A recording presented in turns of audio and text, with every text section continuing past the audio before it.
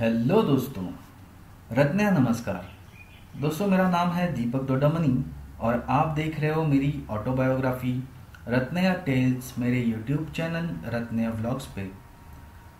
आज मैं एक बहुत ही इम्पोर्टेंट एपिसोड आपसे शेयर कर रहा हूँ। दोस्तों, आप सभी को पता है कि मेंटल हेल्थ बहुत ही इम्पोर्टेंट इशू है, जिसको इंडिया में लोग ज़्यादा डिस्कस नहीं करते। यहाँ पे प्रॉब्लम ये है कि डिप्रेशन को एक वीकनेस समझा जाता है, जबकि वो एक बीमारी होती है। 2016 में मैं भी बाइपोलर डिसऑर्डर से गुजर रहा था। दोस्त मेरा मज़ाक उड़ा रहे थे, लेकिन मुझे पता था कि मुझ पर क्या बीत रही थी। एक हमेशा एनजाइटी सी रहती थी डिप्रेशन रहता था।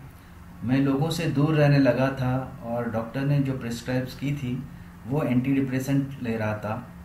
मुझे बहुत ही ज़्यादा तकलीफ़ इस बात की थी कि कोई मुझे समझ नहीं पा रहा।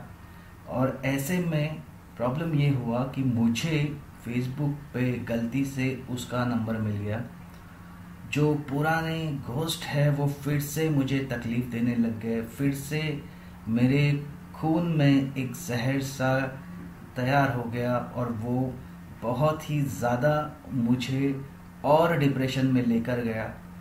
इतनी नफ़रत सी होने लगी थी मुझे अपने आप से कि मैं चाहता था कि ये सबसे मैं छुटकारा पाऊँ और मुझे न चाहते हुए भी उसको फ़ोन करने का मन किया।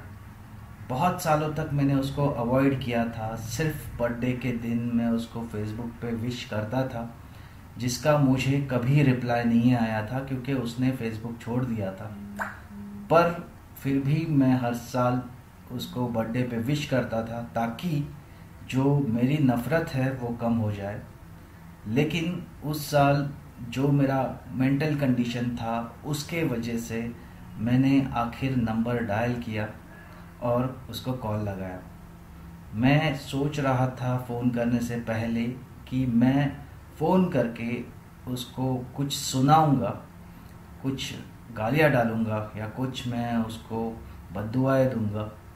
लेकिन ऐसा कुछ होने वाला नहीं था, क्योंकि जब मैंने फ़ोन किया और उसको बोला कि मैं दीपक डोडामनी बात कर रहा हूँ तो उसने सिंपली बताया कि आई डोंट नो वो इज़ दीपक डोडामनी और ये नंबर आपको कहाँ से मिला? आपने इस नंबर पे कॉल क्यों किया?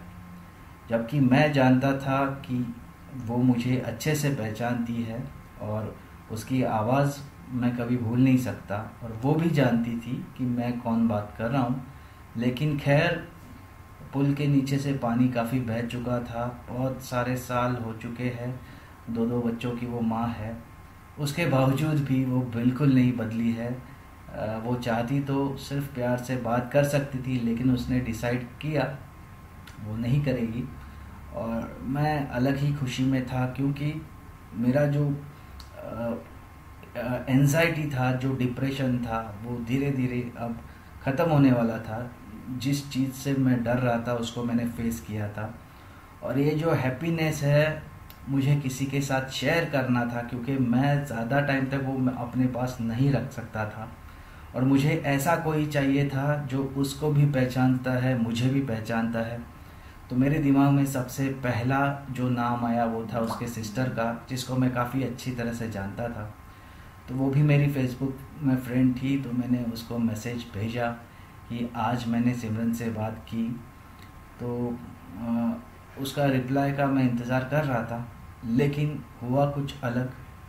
थोड़े ही देर में मुझे एक कॉल आया, जिसके वजह से जो भी मेरा स्माइलिंग फेस था, वो बुरी तरह से उतर गया। मेरी जो खुशी थी, वो अब ख़त्म होने वाली थी, क्योंकि दूसरे साइड से जिसने कॉल किया था वो थे सिमरन के बाबूजी। तो खैर, उनका कॉल आया, उन्होंने मुझे पूछा, मुझे पहले तो लगा कि इन्होंने मुझे फायर करने के लिए कॉल किया है, लेकिन उन्होंने समझदारी दिखाई और मैंने भी उनसे बहुत ही प्यार से बात की। एक दूसरे का हाल हमने पूछा, मैंने आंटी के बारे में पूछा, वो सब कैसी है। तो उन्होंने मुझे बोला कि, तूने पहले क्यों नहीं बताया? मुझे पहले पता होता कि you are Dodamani son and not a random guy वो इज़ चेजिंग माई गर्ल तो शायद आज बात अलग होती। ये चीज़ मेरे दिल पे लग गई और मैं वहाँ पे ज़ोर ज़ोर से रोने लगा। प्रॉब्लम ये था कि मुझे पता था मन में कि ये सिर्फ़ बोलने की बातें हैं। वो सिर्फ़ इतना चाहते हैं कि मैं उनके बेटी को फिर से कॉल ना करूँ।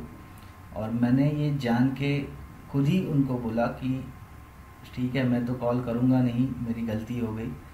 और उन्होंने जब पूछा कि तूने क्यों नहीं बताया, उसके बारे में मेरे दिमाग में बहुत सारी चीज़ें चल रही थी, लेकिन मैं शांत रहा, मैंने कुछ जवाब नहीं दिया। मैं उनको क्या बताता कि मुझे उसने रिजेक्ट किया है, या वो मुझसे कितना नफ़रत करती है? मेरे पास उनको बताने के लिए कोई भी चीज़ नहीं थी, क्योंकि मुझे खुद को नहीं पता था कि उसकी फीलिंग्स आखिरी बार मेरे बारे में क्या थी। लेकिन मैं कम से कम ये जानना चाहता था कि क्या एक बाप अपनी बेटी को शादी कराने से पहले पूछता नहीं कि तुम्हारे लाइफ में कोई है कि नहीं?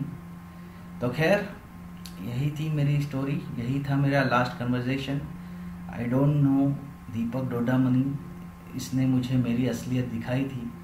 कहते हैं कि आपका जो एक तरफा प्यार होता है, उसमें काफ़ी ताकत होती है।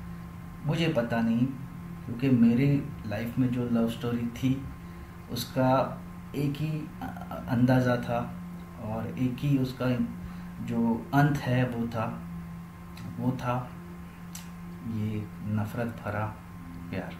Thank you very much goodbye